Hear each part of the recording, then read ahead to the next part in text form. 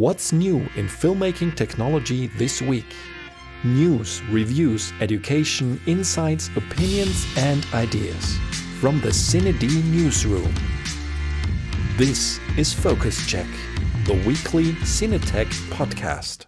Welcome. This is the first episode of our new podcast, Johnnie. Here we are. Good luck to us. I'm so excited actually. Really, it's a it's a it's it's a dream that you personally had for a very long time. Well, actually, for a very long time, yes, I wanted to make something that ties our website more closely to the YouTube in a way. And then I was like, well, actually, it should be more. It should be a podcast. And out of my own habit of listening to podcasts regularly, I I felt like there are not enough podcasts in our field, which is, of course, filmmaking technology, talking about the news, the reviews in our field, filmmaking education as well there's not much out there. There are very few podcasts, and a lot of them are outdated and it's not regular. And I thought it's we publish what four or five times a day on cined.com. We have a large editorial team working on all the latest news. We do lots of reviews. We do lots of interviews as well with, you know, like we have a lot of connections to the camera and accessory manufacturers, but we never really talk about how these things happen and what we think about them. You know, we it's, it's it's it's more about colorful. It's like to to paint our articles uh, in a brush that we couldn't do while writing the article itself or in doing a review. So this is very nice. It's almost like informal um, way to discuss stuff. And yeah, I mean, it's it's really it's a fest, it's a festive day. That's how we say. It's very nice. I'm very happy. yeah, it's, it's we'll try this. You know, like we we we might not get everything right. We will make mistakes for sure. Uh, we will, you know, not have every information corrected all the time. But it's also a good way for the two of us to actually dive even deeper in the content that we publish, because of course there's so much out there that it's not always possible to be on top of everything. We try to be, but yeah. Um, but yeah, let's let's just get started. I mean, what's the last few weeks were very busy for us with traveling, especially for you. We both went to London for BSC Expo, which is a smallish show uh, in Battersea Park in London. I, I, just before, because you said it, it was uh, really busy for us. Between my wife and I, we have this joke, and when she's asking me how was your day? I think for the last few years she keeps hearing it was very busy, and how is how is tomorrow gonna be? It's gonna be even busier. Nothing new. It's it's literally we put our lives into into this assignment. It's a marathon run for us. CineD.com. It's it's like a, we give everything we can with our team together to bring really the, the best out of us. Yeah. Well, so, maybe we should mention a little bit of history. I mean, for people that haven't, you know, there's a lot of people that haven't known the site for a very long time. But um, originally, CineD was called Cinema 5D and it was founded what in 2008. So it's like the ancient times of forum, the internet yeah. as a forum for DSLR filmmakers. We used to have a third business partner, Sebastian, who who founded it together. Uh, with him, we we made it big and made it into a, a news and reviews site. And and five years ago, five years ago, five years, ago. five years ago, when he said goodbye to the company. We took it to the next level, relaunched it into cined.com. Originally, of course, the 5D of Cinema 5D came from the 5D Mark II, which was the DSLR camera that started it all. That started arguably the the affordable filmmaking revolution Actually, for the for the first time. A camera with a full frame sensor that was, you know, in reach of people for what three thousand dollars and you could generate video images. I mean, for all the young people, younger people hearing this now, they we sound really old now, but this is what changed a lot of things, and that's what made the film look on a budget possible. Actually, what many people are forgetting that the first camera to shoot video as a DSLR was Nikon. And it was the D90? No, sorry. Nah, yeah, really. Uh, 90 maybe? Maybe. Can't remember. They were the, actually the first one it was only 720p, not full HD, and it was all automatic. You couldn't control anything. But they were the first one, and shortly after it was the Canon 5D Mark II who uh, made it in a in a full HD form. And of course, they took all the glory. Yeah. But anyway, this is history. It's really ancient history, and yeah. and of course, the site has con- changed completely since then. Um, and uh, of course, the industry has changed completely. Everything became in reach. I mean, it's now there I I keep saying that there are no bad cameras anymore, right? Like every camera you pick up now, every camera that's on the market is amazing in a way. And between us, it's about storytelling. Exactly. Equipment. And it's like we still look at the technology, we talk about the differences and they are important, but it's becoming almost like, you know, finding the needle in the haystack in like finding mistakes in a way because they are all amazing. I mean, you pick up a camera for I don't know, five, six, seven hundred dollars euros, and it's amazing. Yeah, In very spoiled. it- it's very spoiled, and uh, uh, exactly, and that's why you know, like the content is even more important. But anyway, that's that's a bit of a background. We might talk about more of this over the next years of this podcast, I guess. Um, but that's uh, just a bit of history. so let's concentrate. You Let, said let's concentrate. Let's let's focus. We we want to you know like we have to look at the time as well. Of course, podcasts are a long form format, but still, we're, there's a lot of topics. This week we want to talk about um, BSC Expo and CP Plus Expo. So BSC Expo we went together. That was about two weeks ago in London. in London, Battersea Park, very nice location. I've been there many times. It was your first time, I think That's right. um, it's it's nice because our, our main shows in a way like the main shows that CineD attends are NAB and IBC have always been I think the two of us have attended every single NAB since the beginning and it feels IBC as almost well since I was born. Honestly, that's how it feels. Yeah. It's crazy how many NABs and IBCs we have under. Yeah, under the belt yeah we we you know like I mean there, there's many, there's been many out, other outlets over the years but we are I think the only ones that have been or one of the few ones that have really been covering every show since 2008 and we shoot a lot of videos there about new products and so on. That's what a lot of people know our site and also the YouTube channel for. Uh, but there, times have changed a little bit. There's a lot more smaller shows now as well. especially after COVID. Exactly, all over the world. And the nice ones are the ones that I prefer the most. That are the ones that are really focusing on cinematography. That are you know like because NAB, IBC, a lot about broadcast technology, satellite trucks, and all, yeah, and all that kind of stuff like networking and cloud stuff. And it's fine. It's relevant in a way for us. But we're by heart. I mean, we're independent filmmakers, directors of photography that want to shoot on a budget, beautiful images, and and um, those smaller shows are really about cinematography. Uh, BSC is one of them. It's, it's organized by or for the British Society of Cinematographers, and all the people you meet there are either cinematographers, assistants, and so on. It, it's small, it's nice. There's not so many news in a way, like new technologies, but it's like a great meeting it's event. one one big room. Actually, it was really nice to be in London again. Again, and the weather was quite okay, grey but okay. and um, it's a very nice show. I mean, it's it's one big room, and it's very easy to meet people. It's very easy for the local audience to come and see the new technology. So our aim was not really only to cover the show per se. We did two videos that we're going to talk uh, in a second, but it was first of all meet a lot of friends that we haven't seen for uh, quite some time, a lot of colleagues, discuss new ideas.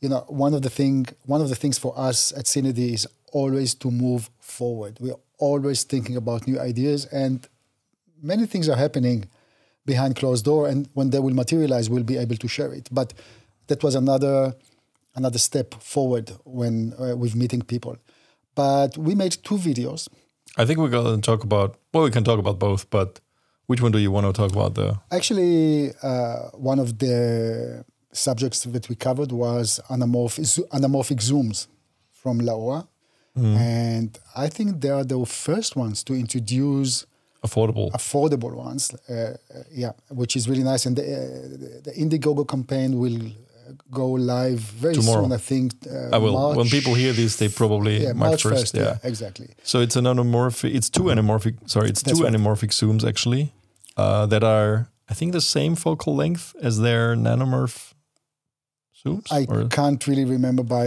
by heart because Yeah. you know we're dealing with so many things. I'm just saying that I'm I'm impressed with Laowa in general.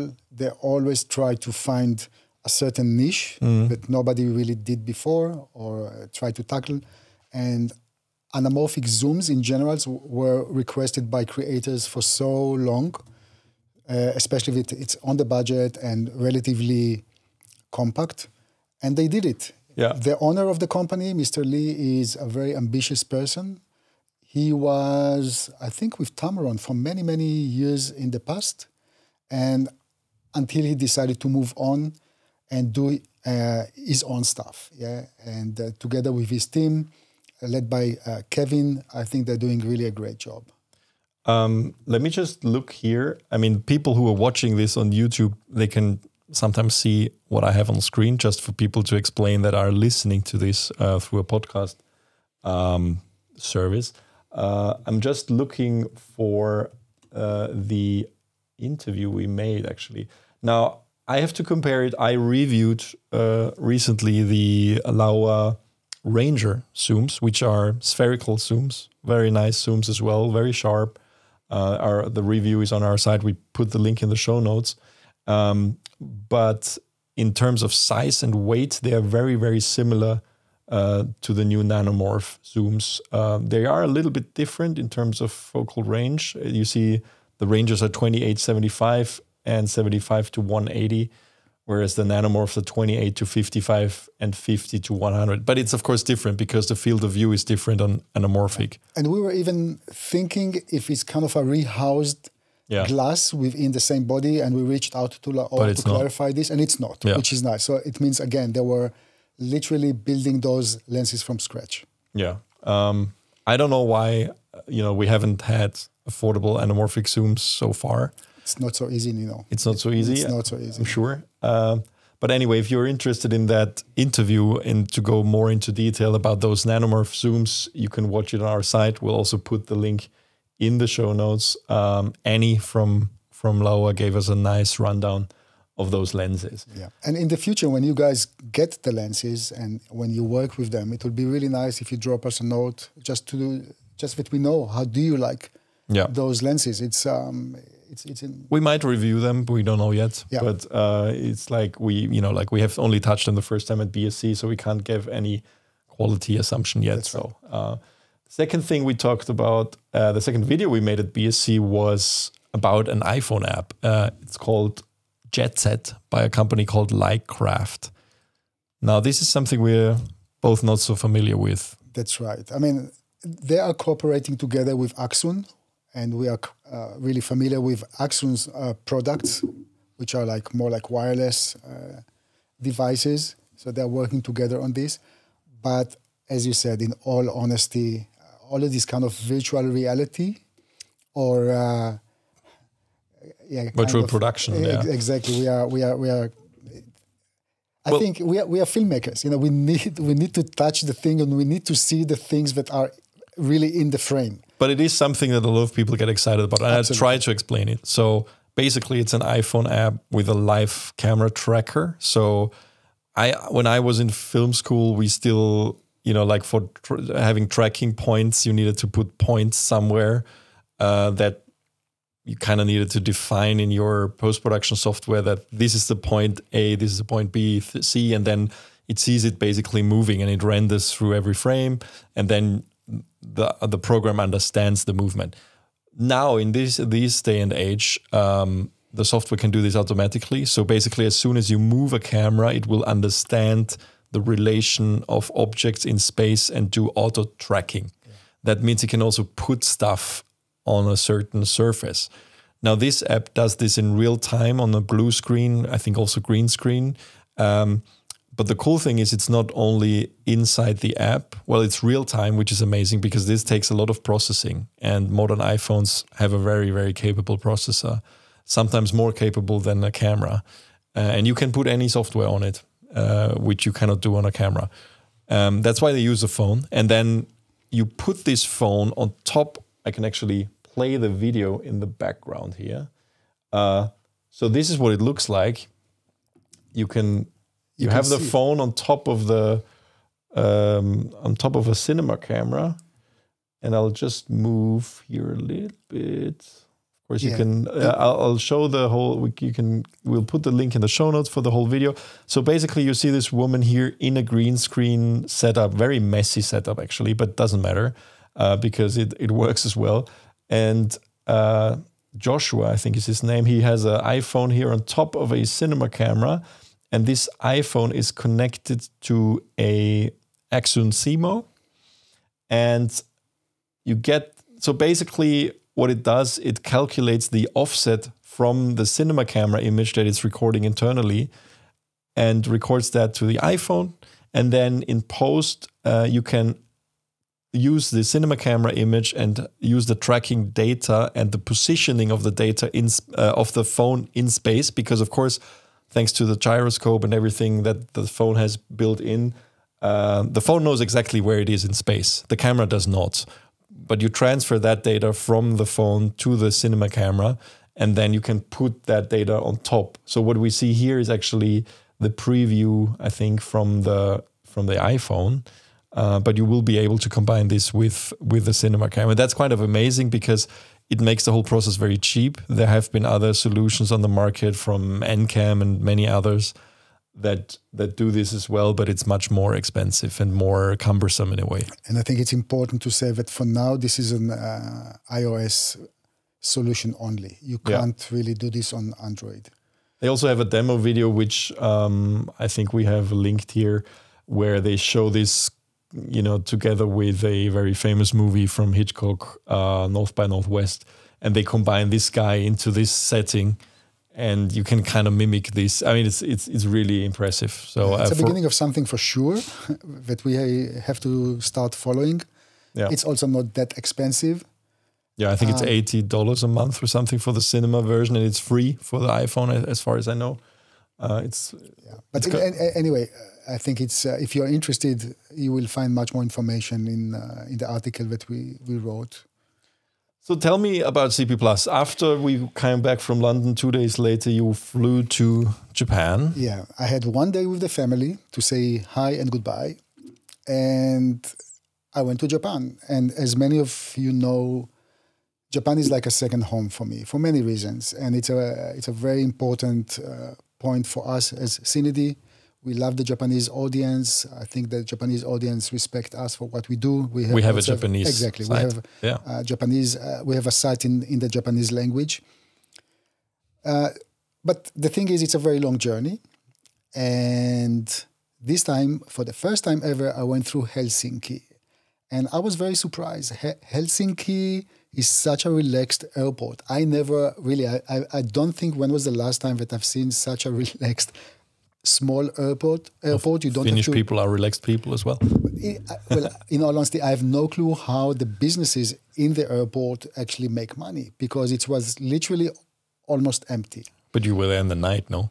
Still, there is a feeling. You know, you yeah. can feel. You can feel how. Yeah, but so that was quite uh, an, a nice journey. Uh, all the way to first Helsinki uh, and then uh, continuing to to Tokyo, and two things. One is about this journey. I didn't know. I talked to one of the um, uh, air stewardess, and she told me that they actually allowed to work only four days a month when they fly because of the radiation. So that was very interesting to hear. Uh, that the company is limiting them for the amount of time they can fly fly between Helsinki and Japan. And the second thing is of course, uh, I flew to Tokyo, and I always prefer to go to Haneda. There are two main airports uh, in, in in Tokyo, and uh, Haneda is the closest one to to town. It's much easier to commute afterwards. But actually, right after I went to uh, Yokohama, and that's where CP Plus takes takes place. Originally, this is a show that is more for photographers. That's how it started. It's also small, right? Is it it's, is it like BSC or bigger? It's a bit bigger than BSC. It's very well organized, like Japanese style, I would say. And uh, but it's one big hall. There, there is not more to it. Yeah. But the thing is, with with uh, the Japanese who are who are attending there. First of all, there is much more video content right now. I mean, they do emphasize video in general, which is reflecting how our industry moved from only photo oriented uh, mirrorless or DSLRs doesn't matter to uh, more hybrid cameras. So obviously it's being reflected. And the second thing, and that's why I really like this show, almost every company is dedicating uh, dedicating the time to have some type of workshop, so that they bring their ambassadors or uh, other people to talk about stuff. And it's nice because the Japanese are actually sitting and listening. It's very nice to see that there is a, uh, much more than just coming to seeing a gear. There's much more. Yeah, there's more. Everybody's profiting here. So this is CP Plus. It's about I think four days, if I'm not mistaken. Uh, weather in Yokohama was all in all quite bad. I'm not used to this, but uh, it's it's uh, it was very great. It was very cold. It was rainy at times. So being at the on the show floor itself was uh, very nice. And one of the nice things in Japan in general, you have this uh, press room, which is relatively small, but you know that you can leave everything on the table. You can leave your equipment, you can leave your laptop, everything. Yeah, which is kind of uh, bring back the uh, the trust in people. Yeah, that's how it is. And of course, there are also some foreign journalists, but I want to believe that nobody is there to uh, you know whatever. Like, and, and the funny thing, I I left a jacket on my on my on my chair, and when I came a few hours later, suddenly the jacket was gone, which is so un-Japanese. I was like, "What? Where's my jacket?" I notified the staff in a nice way, saying probably somebody needed it. It was a cold weather outside. And all I know that the next day I had the representative from the press room literally running to me and said, is that the jacket? I mean, somebody thought that I forgot it, or somebody forgot the jacket. He brought it to the organizers, and I got my jacket back. Yeah. But I mean, I, you know, I, I, in these newsrooms, yes, Japan is different in that way that you can, feel very secure about those things. But I, I have to say, in general, uh, also at NAB and IBC, those newsrooms are very well organized. I mean, we feel right at home in a way, right? I mean, it's like a, it's it's actually quite big spaces. IBC for one one time they had it smaller after COVID, but then it's back to normal and they're very nice to the press. I mean, they need the press in a way, but uh, it's it's it's kind of our home base at these shows in general. You go there. Uh, you have the team sitting there editing writing uh, you can talk you can bring people in sometimes there's even food and drinks so that's that's very nice i mean it's like on the busyness of the show floor I think a lot of people don't, they always wonder how we manage to output that much content. But honestly, in the big shows, it's they, this makes it possible. I mean, it's like there's shows like Cinegear where we don't have this, where it's very hard to actually find a space to edit or do anything because they don't have the space. So you need to literally rent a Airbnb, which is close to the Paramount Studios where Cinegear takes place in LA which is very very hard logistically to get stuff out. But yeah. yeah. So with CP Plus, the idea was not to fully cover the show because uh, first it was only uh, I, I, was alone there. That was the aim. So it's literally filming and editing by myself. Uh, but yeah, I tried to pick up a few topics which are interesting for our audience. And one of those, uh, we went two interviews kind of off the show. They were not really, really connected, but it was part of me being in Japan. And the first one was with Fujifilm. They just uh, introduced the X100VI, mm-hmm. which is the successor of the X100V.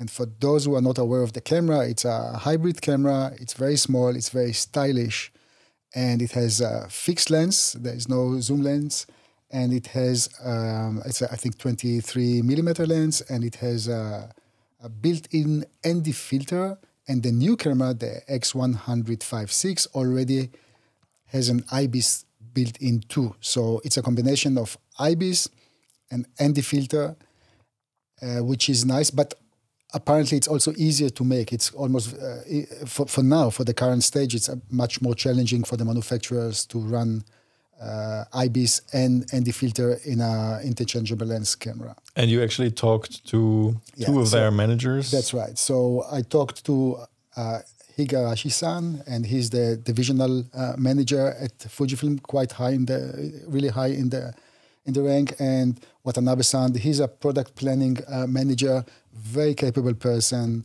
Uh, he's everywhere when it comes to, to, to Fujifilm cameras, actually both of them, because also Igarashi-san, he is uh, the face of Fujifilm in all those summits and events. So both of them are extremely experienced, very knowledgeable, and I have to say, also very nice people to, to, talk with. Very simple as that. We'll put the link to the interview uh, on our site and YouTube on in the show notes, of course. I mean, you mentioned the camera. What we were surprised about, I mean, this camera, correct me if I'm wrong, but it's, it, like the predecessor was already very popular, right? The X100V. Very popular and was almost unavailable. Exactly. It was very it hard was to get it. hard to get, and they couldn't fulfill orders for a very long time. I think we were not, or I was at least not so aware of it because I it's not so video focused, right? It's Well, it's a photo camera with video capabilities. Yeah. So for Fujifilm, the, the orientation is photographers or uh, street photographers. It's a very stylish product. It's very nice. It's when you look at this, it's Yeah. you, you really it want. looks cool. yeah, it's cool, and you really want to to have it. But this specific camera uh, already has like a 6.2K video, no open gate. I mean, in in all Mm-hmm. The new one, the the, the new one. Yeah, I mean, you can't. Uh, yeah, it has uh, uh, 4K and 4K DCI, 16 by 9. You can uh, rec- record video in high quality. The thing is, you have to be aware when you shoot video in the HQ high high quality mode. Uh, the video will crop. There will be like 1.23 crop into the image Yeah. and this is in 10 bit. If you don't want the crop, you have to move to the 4K only mode and not use HQ. And then it's 8 bit and you will not have the crop. So Which obviously which focal length is it? The fixed one? 23 millimeters. uh, Okay. So quite wide actually. it's it's wide, but of course, if you are using the high quality, the HQ mode, you are cropping a little bit in, and then I personally felt a little bit uncomfortable. Kind of, I wanted the wide shot, so you can't you can't have it all. The thing is that uh, it has only one uh, SD card, and this SD card uh, is also limited with the speed. Uh, that's why they probably ha- had to limit the amount of data that comes uh, into the card, and that's why y- uh, they, th- there is a crop. But please, How much is it? this is one thousand five hundred. Can I see? Just Well, actually, we don't, we don't have bilings on this Of one, which is a do. mistake. No, no, no, we have. Uh, No. Oh, really? There, there are no bilings. That's a mistake. one. Well, Oh, there should okay. be bilings. Yeah. Um, anyway, the so for me it looks like a like a cheap rangefinder, like a cheap Leica version, kind of right. That's maybe how people perceive it because Me it looks cool. personally, um, uh, you know, I, I don't like the word cheap. I would say modestly priced, um, but Inexpensive. Uh, yeah, it's a one thousand six hundred dollars Yeah. camera. It is a kind of a range finder. It has an optical uh, viewfinder also. You can uh, change between optical and uh, EVF. It's, I think one thing is for sure. In the past, many people thought that Fujifilm equipment is expensive, and I'm always so surprised to see that they bring high quality products, but in at, at a very affordable price. And this specific uh, camera also have the newest film simulation, which is the Reala Ace. It's it's very nice. Like it's a really out of the box, very nice uh, color. Which was announced with the GFX100 II. 102. That's Yeah. right. And, and this specific thing will come to future cameras, if I'm not mistaken. Uh, they are announced in the previous summit uh, that that will also come to um, uh, other cameras, which is nice to see. Yeah. So I we we have the camera with us.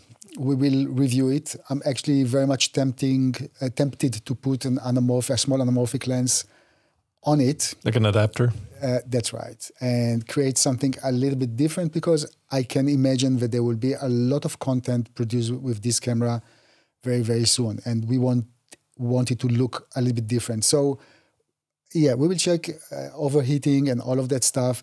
Please remember, this is not a video camera, even in the world of mirrorless cameras. Yeah, it's probably kind of a BC camera. It, it just it's just a fun camera. It's just, uh, I mean, it's small. You can have it on you, and and and we were surprised. I mean, uh, we kind of have a pulse on the industry. I think with our audience, of course, that it's leaving a lot of comments, but. And we saw how people were interested in that video, particularly, but also the announcement of the camera, and and we see how many pre-orders came came in through B&H. Uh, I mean, of course, and we should mention this here. If you really want to support CineD and what we do, it's always helping us if you click the affiliate links to B&H and CVP. We are they are our uh, retail partners, uh, CVP for UK and Europe, and uh, B&H for US and rest of the world, because you know, like they they literally sell anything, almost everything. We are very very close to them because every time there's a new product you know like we will actually check with them do you already have it stocked and we make sure that the links are there when something is launched. You know, like we do our best uh, because you know like we it's it's it's normal to be it's good to be affiliated with a retailer because they don't care what they sell as long as they sell and it doesn't matter for us. We can be honest with our opinions because of that because we always get a tiny percentage. If you click on something it helps us to run the show to pay all the people behind the scenes that you know run CineD and it is expensive to do. Um, so please uh, you know like click our links. Doesn't cost you any cent more. But through this of course we saw that uh, this camera is amazingly popular. This is by far, and we checked with different sources. Yeah, this is by far the most pre-ordered camera in recent history, which is of course a bit surprising for us. In like why? Yeah. Uh, we saw maybe sometimes a similar behavior when Blackmagic used to announce their mm. own cameras at the beginning, a few years ago. But still, even within recent ones but nothing less. come close to this. This is yeah. I, we don't want to go into numbers because we don't have concrete numbers, but our sources are telling us that they also never saw something like this. Now the question is, will Fujifilm be able to fulfill the orders? Uh, because I think they were committed to like what fifteen thousand cameras to producing fifteen thousand cameras a month, so that will be very interesting to see. Mm. Another topic that we talked about with uh, we have to look a little bit of the time at the time. Yeah, but yeah. so just very quickly is will Fujifilm consider and come up with a cinema camera? Since this is a topic that is very interesting for many. I mean, we can see we also run a, a poll uh, about this, and many would love to see a Fujifilm cinema camera. Actually, let me uh, let me show the poll. We ran this poll I think last week or the week before. Uh, yeah, should no, uh, sorry, side. that's the other one. No, no, down on the left hand side, down. Yeah. Not this one. Whoops. We so we talk about the weekly polls that we yeah. do in a second, but we ran one uh, asking people if they want uh, Fujifilm to come up with a dedicated cinema camera, and if we uh, let me just uh, say yes here because I then I see the results. You, you can you can just click. Yeah. Yeah. So yes, people want Fujifilm to do a dedicated cinema camera. So what did what did they say? what did they say? No First, comment. No, no, no. I can't, I can't say no comment because I, I, I, can only quote what they said. And yeah. what they said is currently there is no uh, dedicated cinema camera. They will consider, and of course, when I showed some uh, disappointment while I was interviewing the gentleman, they said, but this might change tomorrow. Uh-huh. So, you know, I think they're fully aware of what people want. For me personally, it will be very interesting if, if, uh, and it's not that we have the information, if this type of camera will come in the future, how it will be positioned, because there are already quite a lot of manufacturers who are making film uh, uh, cinema cameras. Well, I like Fujifilm's approach is a bit of a Trojan horse in general, right? Uh, they they have decided consciously to not make full frame cameras, which is a very interesting decision because, of course, the whole industry was focused on on full frame over the last few years, with especially Sony, Canon, ARRI, many others, Red, uh, doing full frame cinema cameras. Um, but they said we were not going to do it. So you have either the medium format GFX line large format. and large format, and uh, well, in photo terms, it's medium format, but yeah, it's they call it large format for video, and uh, Super 35 uh, APS-C in in all their others. So that's I think it's a smart move. It's like you said, it's very interesting. If they ever come up with a cinema camera, will it be one or the other? That's right. Um, because of course the Super 35 cinema camera market is crowded. Um, but there's not much on the large format, I guess. So let's see. Yeah, let's see. Let's move on. Uh, just very, very briefly, the second interview we published was with Panasonic. Yeah. What can you tell me about that? So we published another interview with Tsumura-san, and Tsumura-san is from Panasonic, and he is the uh, executive vice president or and the director of the imaging business unit very nice person also, very knowledgeable. He was actually originally the person behind developing the Panasonic uh, camera phone. That many years ago, Panasonic actually before time. You know, it's sometimes it's really about timing when you introduce a product. I do believe this gentleman has a vision. And part of his vision was, and that's one of the first things that he did, was to combine the consumer and the professional departments because acknowledging, of course, that times is changing. And uh, yeah, I mean, what, like it, it, it, it can be for the benefit of the business and the consumers to have uh, everything under one roof. The question is, of course, what will happen to the professional line, and that's one of the questions about EVA1 uh, and um, the Varicam line line of cameras because those are kind of neglected in the last years. In the interview, I could not get a clear answer what will happen to those lines, but I think if, if, if listening very carefully to him, they are acknowledging the needs. I mean, Panasonic was always a company that put a lot of effort into adding video mm-hmm. components into their cameras. They did it on the micro, micro four thirds line and full frame line. And yeah, I think more will come uh, probably in the reason like like always. Yeah, we know that new cameras will come, but it will be interesting to see what direction the company will take. It's it's I always felt a little bit sorry for a lot of those Panasonic products because they were technically so amazing uh, if you look at the S1H, for example, which was really, I mean, that was probably the most fully featured uh, mirrorless camera for video time. at that time.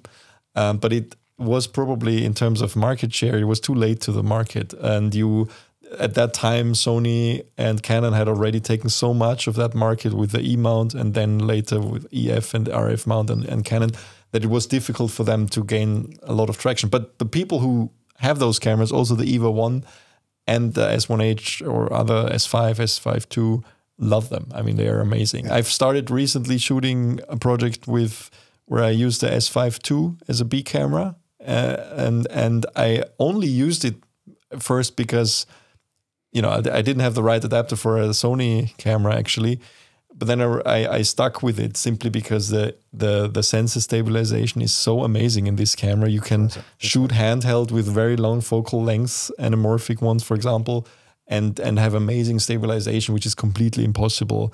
Even though other like with Sony and Canon, even though they also have sensor stabilization, but it's so good in the S5 II. So it's like like these cameras should actually have much bigger market share than they actually have. Yeah.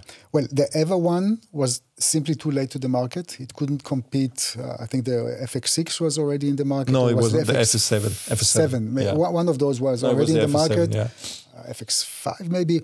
A- anyway, FS5, it was, it, it, it was uh, too late to the market. That's one thing. And the second thing is that the S um, S1H suffered from not having a proper autofocus at that time. Mm. Because you know, as a one man one man band, you are looking for uh, a tool that can serve you best, and autofocus is one of those. Uh, features that you really need, uh, even if some people don't like to work with autofocus, but if you work on a gimbal and so on, and you're a one man band, you better have an autofocus.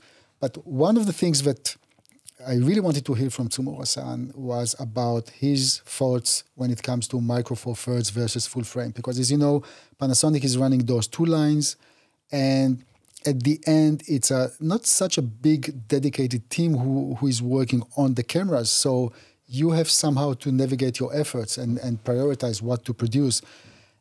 And I was pleasantly surprised. Obviously, Panasonic is still very much uh, behind the Micro Four Thirds format. It seems like they are really.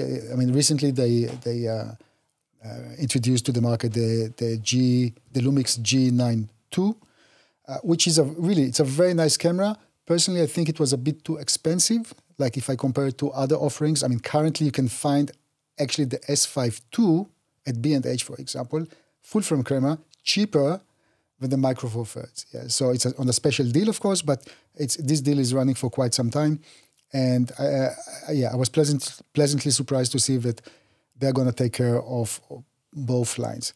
But if you want to hear more, I think I really I suggest people to go to to listen to this uh, interview. And if you have any questions to ask Panasonic or, or Fujifilm, doesn't matter. Don't hesitate to drop us a line, and we will try to communicate uh, whatever you guys are asking and please understand, it's not uh, some of the comments like, why didn't you ask about this and this particular camera? Simply because in Japanese mentality, they will not talk about a specific camera. There's so many things going. Uh, uh, you know, for example, let's presume that there's a camera with whatever feature. Maybe this feature is patented. Maybe you have to make sure that all the clearance is being achieved first. So you, they can't talk about individual cameras and features before they are exposed to the market. Yeah, so it's better always to ask in general about trends and about uh, what they think about things than going into particular products because the chances that they will answer about upcoming particular products is almost zero. Yeah, it's a, it's a very naive assumption that you know like what's the next cinema camera. Of course, nobody's going to tell you. Yeah. Um, but yeah, exactly. They, they can talk about trends and we can already assume what's coming. Um, you mentioned contacting us. That's actually a good point. We encourage you to email questions to podcast at cined.com. We have a new email address that's dedicated that uh, colleague Alex and I are monitoring. So any any feedback that comes in, please just drop us a line. You know, like positive, negative. What do you think about the podcast? What you can we can do better? But also questions um, that you have to us to the CineD team. Uh, we're happy to look all of at all of them and answer as many as we can. Okay, let's move on to the poll of this week, which is which editing software are you currently using? That's, of course, a very interesting topic because we know that um, DaVinci Resolve has been gaining traction a lot over the last few years. Uh, it's free. I mean, the basic version is free, and the basic version is already very, very capable. Uh, you, I think, a full what, Alex? What is a the full license? Is what three hundred dollars? Yeah, three hundred dollars for the studio license that can literally do anything. Um, and then you get it for free with almost all of their cinema cameras exactly. and a lot of their other products. So it's like a lot of people already have it. Uh, I think you can use it on two computers at the same time. And, and so far, they have never charged for updates as well. So it's literally almost given away for free, even the pro version. And it's an incredibly capable piece of software. Now, it's coming from coloring, right? It's originally a color suite that Blackmagic acquired and then integrated and then they put NLE functions on top. Um, it's a complex piece of software. I think a lot of people are are intimidated. looking intimidated. There, uh, it, it, includes us, right? I mean, you are interested in using it for editing, fully fledged editing, and um, but when you use it, when you start using it, you realize it's not that complex. Even if you stay within the editing ecosystem with of the software, you don't even have to touch Fusion or uh, the color page and stuff like that um, it's it's it is it's not I wouldn't say intuitive, but it's learnable and uh, it, it's really a fully fledged NLE. It's not something that's an afterthought. That's what a lot of people think. But we see it's very interesting in the poll. Uh, we already have, I mean, now, right now, I mean, we published this yesterday. 750 votes were cast. We're also going to put the link in the show notes so you can also vote. Um, DaVinci Resolve, over 50% of the people who voted uh, are using DaVinci. Around 22% are using Premiere. Uh, 18 or 19% are using Final Cut. Which is surprising also, by the way, to see Final Cut kind of being still well, pretty I, much almost at the same uh, extent of uh, Adobe. I, I didn't uh, Premiere. I didn't expect so many people. I I think Premiere. I think uh, you know when when when Apple. For me personally, I use I don't edit that much, but when I do edit, I use Final Cut most of the time because it's the fastest in and out thing for me. It runs even on older Macs. It runs incredibly performant. Of course, it has. I, it got a bad image in the beginning. I think Apple shouldn't have called it Final Cut Pro, Final Cut Pro X in the beginning, because the original Final Cut Pro has nothing to do with a new one. So people were really expecting an updated version when it was something completely new. If they had called it video editing version 1.0, nobody would have you know like complained. complained. But the problem was they they kind of stopped support for the old one, which was really a high end professional piece of software that all of us used, and kind of pissed people off by doing that. And then over the next 10 years, 12 years, whatever, when it was released, they made it into something very, very capable. Um, and also, I mean, they charge what 250 euros for this once or dollars, and then never again charged anything for it. Any major update was free. And then compare this to Premiere, where you have to pay a monthly or annual fee to Adobe, and it's really expensive in comparison. Yeah. The problem is for me personally because I, I'm still on uh, Adobe Premiere uh, Pro. The thing is, when you have a project, you you want to get it done as fast as possible. So you obviously, or I obviously, go to the editing platform that I know because I can edit Premiere by now, like uh, closed eyes, yeah. And then, so you need a time to learn. And the thing is, you don't always have the time. It's it's a time thing. So I find myself always going back to what I know. It's a habit, of course, and uh, I, I was one of those naive people that went into Final Cut when it was released and it was disappointed. I stuck with it, and kind of at that time, I was also pivoting to Premiere. What always frustrated me about Premiere extra incredibly was that it's like a copy of the original Final Cut Pro, right? They try to mm, like everything. There was in the old days there was a Premiere that was that was different, right? And then they that was horrible. I mean, that was when I was in film school. It was really bad. It was very buggy. It would it, I it was computers were also not yeah, so but still, it was not very stable. And then at, at some point, Adobe cut it, and once they they kind of redeveloped it from scratch. And of course, they looked at the more popular solution, which at the time was the original Final Cut Pro, which the last version I think was seven uh, when they stopped supporting it. And a lot of that was kind of copied over. So if you knew the old Final Cut, you knew the new Premiere. And in a way, of course, they added more and more functions, and Adobe is very good at adding new features. But I think because of how they work with this subscription, they don't they don't always do a good job at maintaining what's there. They add new stuff on top, and sometimes that's to the detriment of what's there. And that's what frustrated me. And and and that means also the way it works is is is archaic for me. It's like you open premiere and it feels like the old final cut. And um, that also goes i mean performance got a lot better with uh, gpu support of course but still if you compare the performance of what the kind of computer you need uh, i mean the computer is not the limiting factor anymore right i mean if you have a modern uh, if we are on Mac, so if you're on M, M1, M2, m3 uh, any of those computers are fast enough to edit 4K video easily. Um, if you're still on Intel, it still makes a huge difference what graphics card you're using and stuff like that. But Premiere will always be a more power hungry uh, thing. It will drain the battery faster if you're running on battery on a plane or whatever. And uh, Final Cut and DaVinci, but especially Final Cut is just much more performant. And and they rethought. I mean, that's the thing. You know, like Apple at the time, they really rethought the editing process, and that's that's what annoyed a lot of people because we are habit creatures in a way, especially editors. Uh, so they changed everything and called it the same as before. So that annoyed everybody. And Premiere kind of gave the you a safe haven. If you were in Final Cut before, you could easily transfer to Premiere Pro and it's almost the same. Uh, and it's to this very day. But I think now I feel it's a little bit outdated almost. Uh, if you look at how it works, um, it's fine. but it's like the whole mechanisms of things you can. I, I, I promise you, if I edit the same, or if somebody who knows both softwares identically, Premiere Pro and Final Cut, they will be a lot faster with Final Cut. In, yeah, sure. In ninety percent of the cases, three clicks in one, you can do probably with one click on the other. Yeah. But the thing is, I, I, again, for the for the sake of conversation, I have to say that Adobe got much better in recent years. They have this beta version that you can download and you can work with. Uh, that was unheard before. Yeah, like releasing or giving people to work with beta version, and not only that, you can communicate almost directly and let them know about bugs.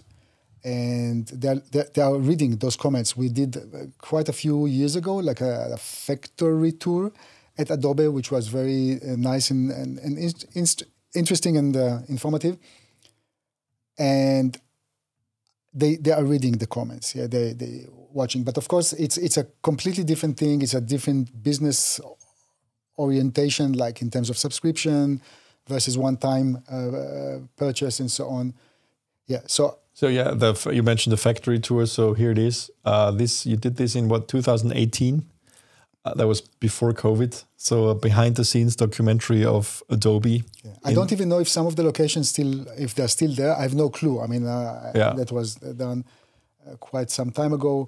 But it was an experience because at the end, Adobe is a giant. And I think many people find it a bit hard to associate themselves with uh, like giants like like Adobe. Yeah. So it was interesting to uh, to, to to to to meet the people behind because all of those factory tours that's that's the purpose to meet the people behind the logo behind the brand. Yeah. Yeah. So again, if you watch this, it's a very nice uh, documentary, mini documentary. A lot of effort went into this, but I'm not so sure if all of those locations are still valid. I have no clue if they moved, and, and yeah, whatever. All right, so that's the poll of the week. We run a new poll every week, um, and uh, yeah, we'll put the link to the poll in the show notes, and we'll also put the link to the uh, Adobe Factory tour there. We talked a lot about this now. Uh, everybody has their preference. I think that um, you know there's room for all of this, but if we're all honest, I think I think a lot of people who are on Premiere and Final Cut are looking at DaVinci Resolve. Yeah, because it's simply in both the low end and the high end uh, really gaining traction. And you see almost avid has become like a afterthought. I mean that's really it used to be the dominant thing in broadcast and filmmaker. I, I think in high end it still might be. Um, but a lot of the every time i i mean i learned avid a little bit in in university but it's like it felt very it felt like shackles right? You can't it's very hard to do things like titles and and integrate other things. It's it's, not very ve- if you do like a streamlined thing from A to Z and do this regularly, I think there is still a lot of people using Avid because it's like it's giving you this process that it's absolutely streamlined. But as soon as you do something out of the box, you're very limited. That's what I have feeling. But honestly, the last time I touched it was a long time ago, so maybe that changed. But we see in terms of market share and and also in our poll that it's not very popular with independent filmmakers for sure. That's right. Um, and um, yeah, and a lot of people are looking at Da Vinci because they're doing a lot of Black Black Magic is doing a lot of things right. Okay, let's move on to something else. We have the uh, our education platform MZed, which has been part of the CineD family for almost three years now. Um, MZed, what is MZed? MZed is a platform that right now has over 50 courses, 54, 55, I think, totaling over 500 hours and, and 900 or 8, 900 lessons uh, of amazing filmmaking content. I mean, we have some of the best educators in the world on that platform teaching you cinematography, lighting, uh, editing, producing, uh, anything, cinema sound, uh, podcasting, you know, like we have a podcasting course.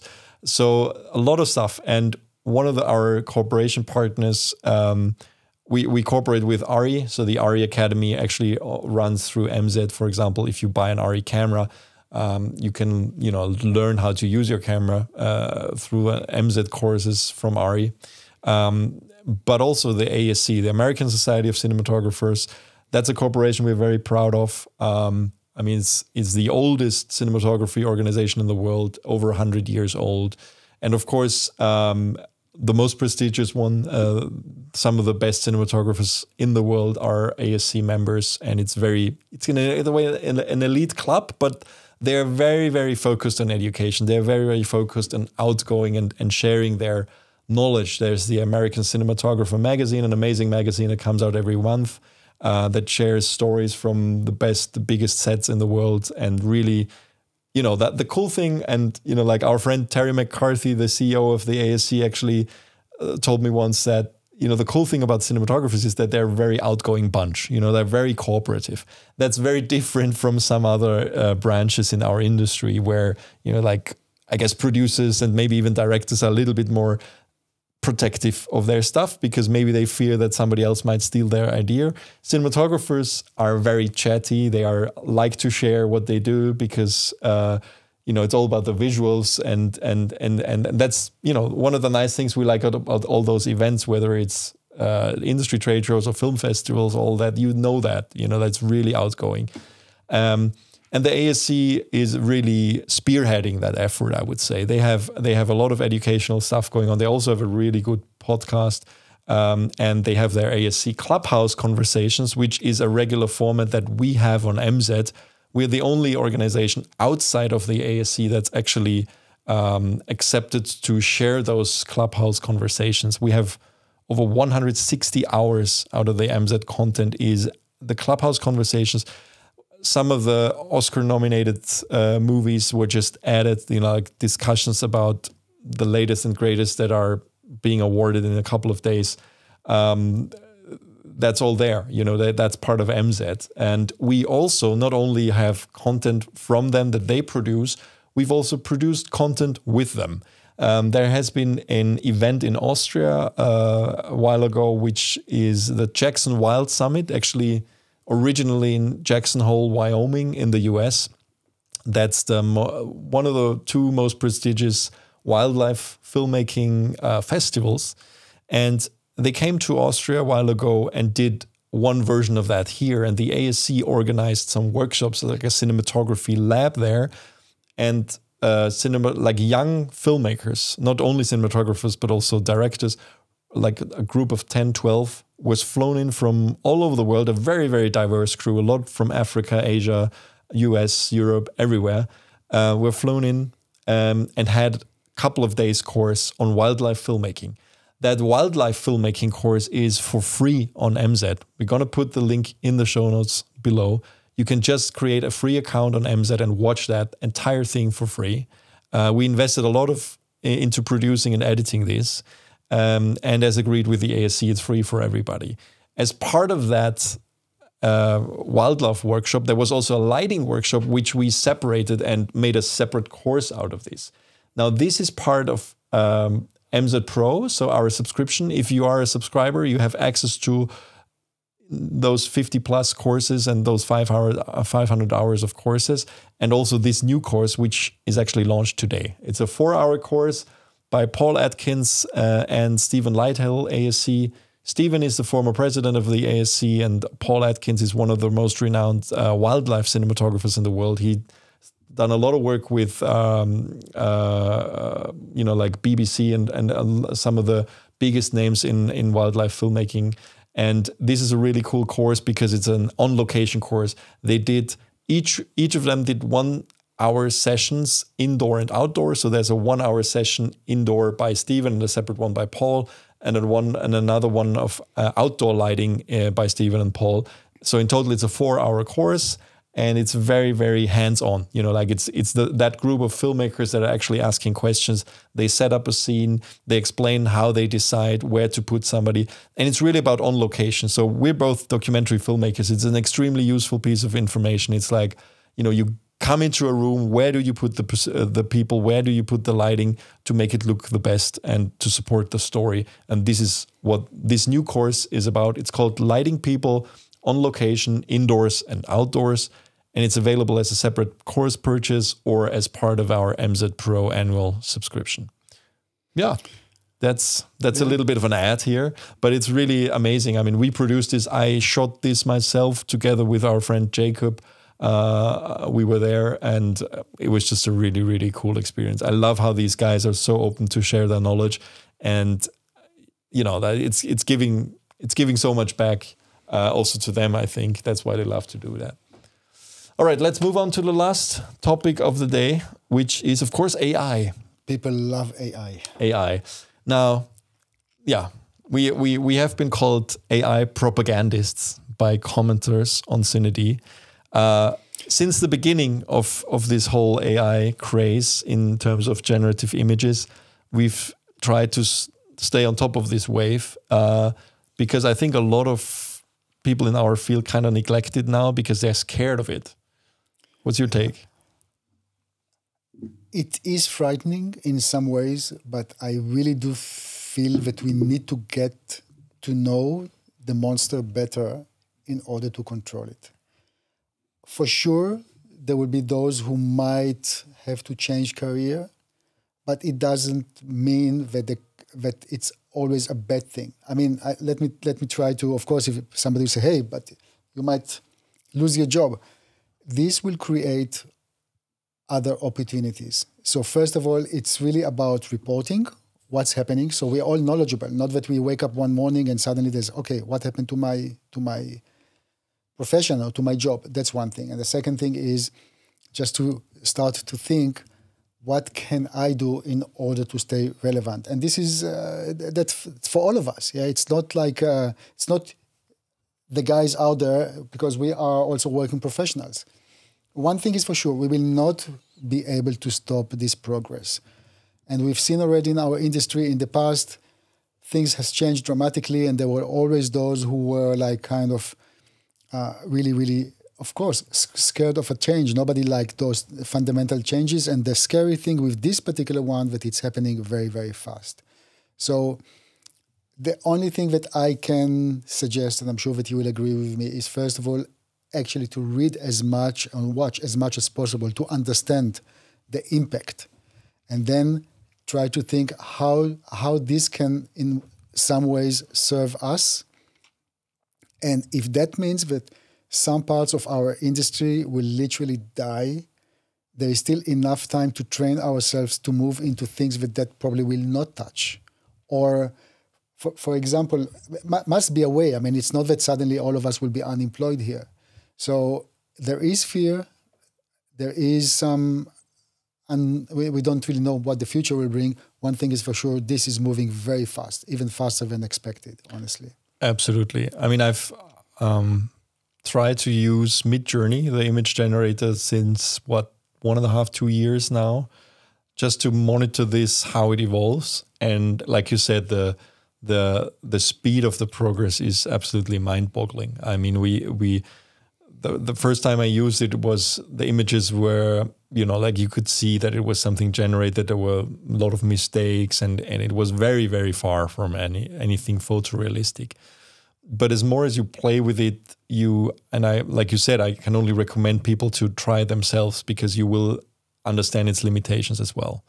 Um, it's uh, it's evolved incredibly fast. And now, if you generate images uh, with it now, uh, like and Midjourney is for static images only, um, you will realize that it's um, it's it's photorealistic. I mean, literally is photorealistic now.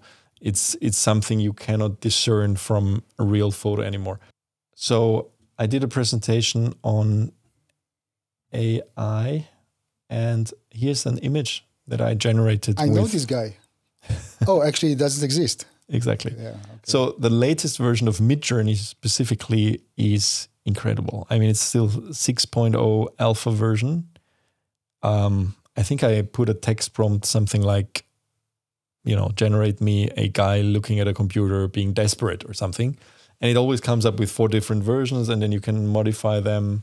You know, like I mean, these looks. If you see the you see these things like that, it you would not be able to tell that it's not a real photo anymore. Yeah. That's scary. Uh, now, this is static images. I mean, there's also stuff like this, which is even more scary.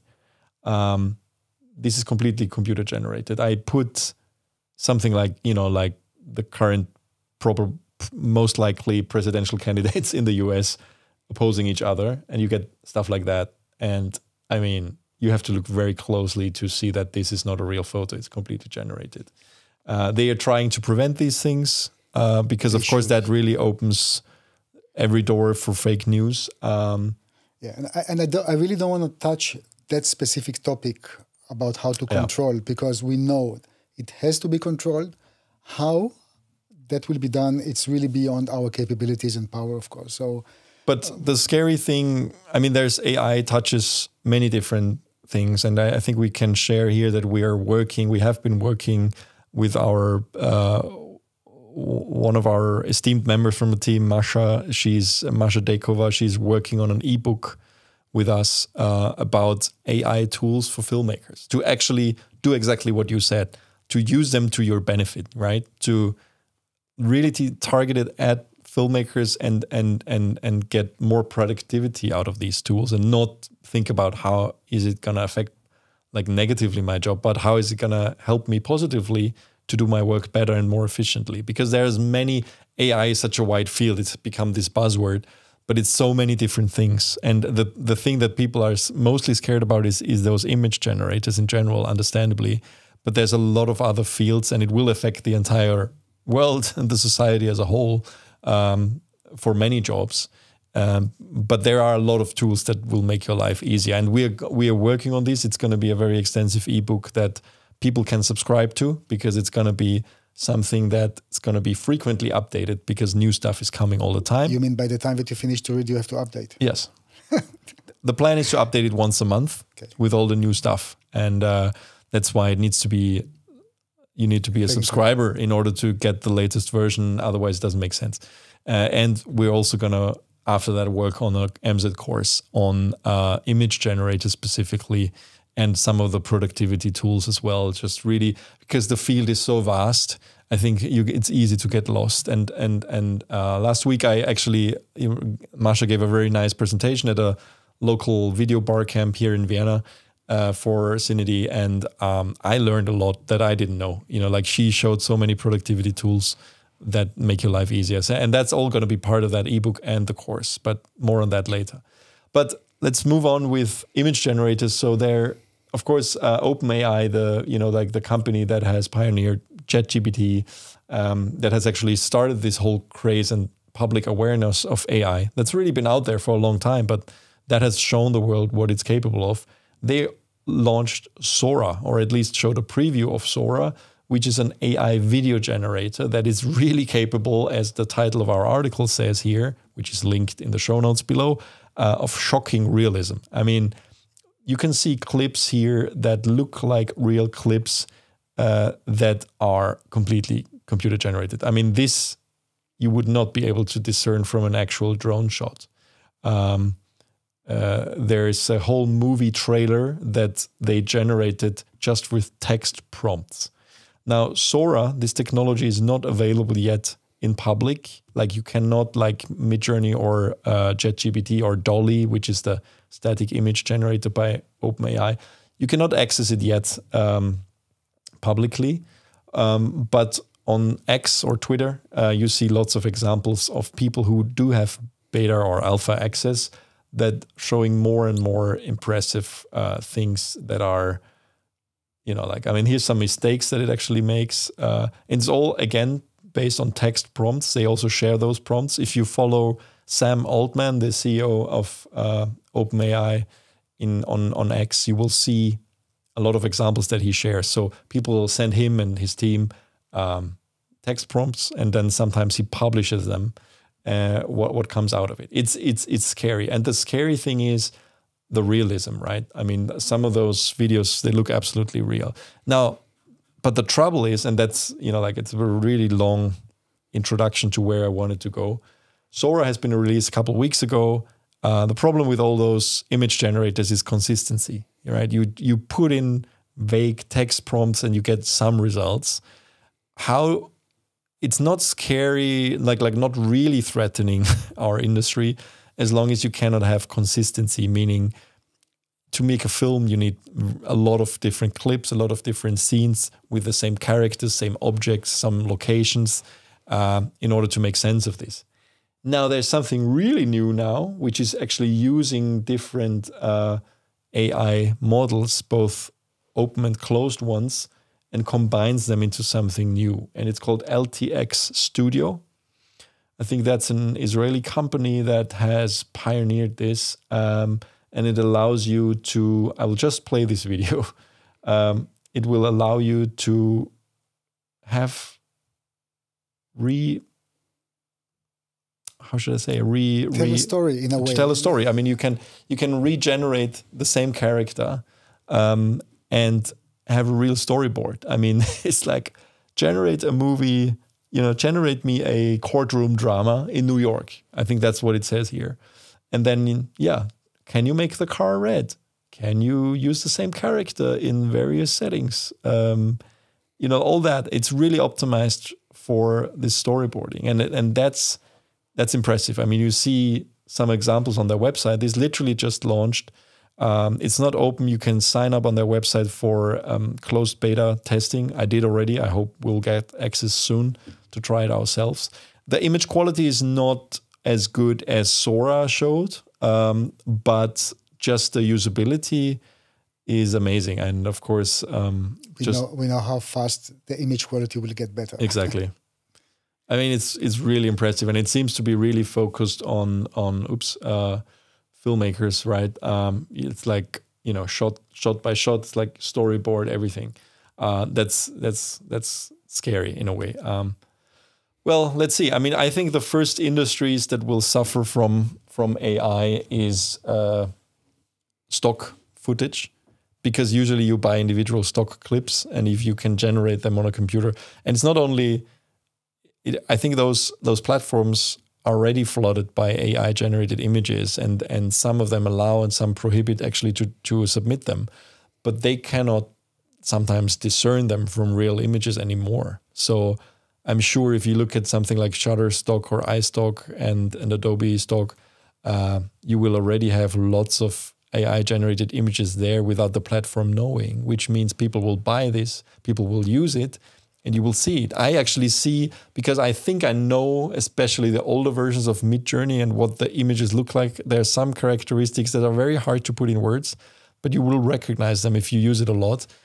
And I've seen posters on the street by McDonald's and others that used their images and they've not talked about it. You know, like either the client doesn't know, maybe they know, maybe the agency knows, you know. It's like it's very hard. Eh, maybe they don't even know if they use a stock image. That's crazy. Like it's you, you, they might not even be aware that it's that the stock image they purchase is not a real image.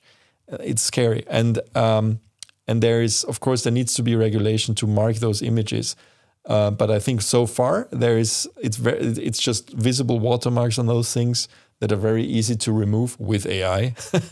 you know, like you have you have Photoshop and all those uh, generative uh, things that now can very easily remove watermarks.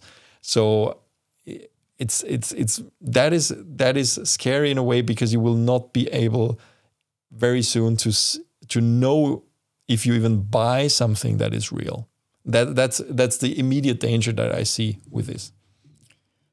Yeah, I, we're just watching right now because I don't even want to name like name names and also predict which industries will suffer the biggest first. I want to believe that those big agencies will try to reinvent themselves into some extent.